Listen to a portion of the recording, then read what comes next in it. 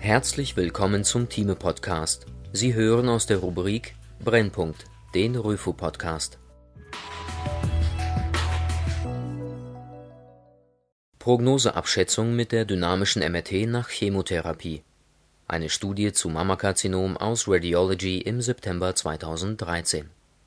Laut verschiedenen Studien sollen eine Volumenabnahme und die Kontrastmitteldynamik nach neoadjuvanter Chemotherapie mit dem rezidivfreien und Gesamtüberleben von Mammakarzinomen assoziiert sein.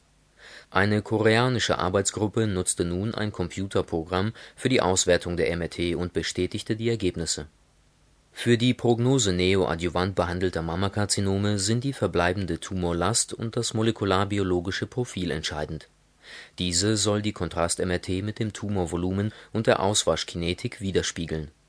Die Autoren untersuchten retrospektiv die Scans und klinischen Daten von 187 Patientinnen mit einem Durchschnittsalter von 46,6 Jahren. 73,3 Prozent waren prämenopausal und 91,4 Prozent hatten palpable axilläre Lymphknoten in allen Fällen erfolgte wegen eines invasiven Mammakarzinoms präoperativ eine überwiegend anthrazyklinhaltige neoadjuvante Chemotherapie. Durchschnittlich wurden sechs Kurse verabreicht. 38 Rückfälle traten auf und zwölf Patientinnen starben. Das mittlere rezidivfreie Überleben betrug 46,3 Monate und das Gesamtüberleben 52,3 Monate der Vergleich der MRT vor und nach der Chemotherapie ergab in univariater Analyse zahlreiche klinische Faktoren, die mit häufigeren Rückfällen und einem kürzeren Überleben assoziiert waren. Diese waren ein geringer Differenzierungsgrad, klinisch kein Ansprechen auf die Therapie, histopathologisch keine komplette Remission, ein fortgeschrittenes Primärtumorstadium sowie die Peri und Postmenopause Ungünstige MRT-Parameter waren ein großes initiales Tumorvolumen, eine kleinere Abnahme von Volumen und Durchmesser nach der neoadjuvanten Behandlung und eine geringe Abnahme der Auswaschkomponente. Die Reduktion des Tumordurchmessers und eine histopathologisch komplette Remission waren in multivariater Analyse nicht signifikant mit dem rezidivfreien und Gesamtüberleben assoziiert.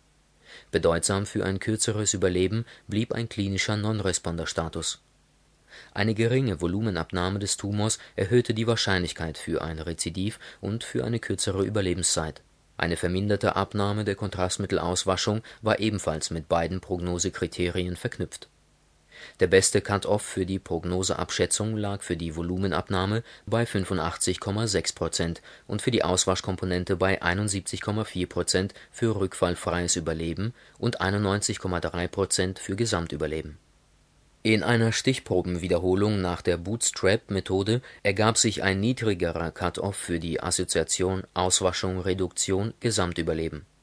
Auch bei einer Reduktion um höchstens 67,3 Prozent war die Überlebenswahrscheinlichkeit geringer.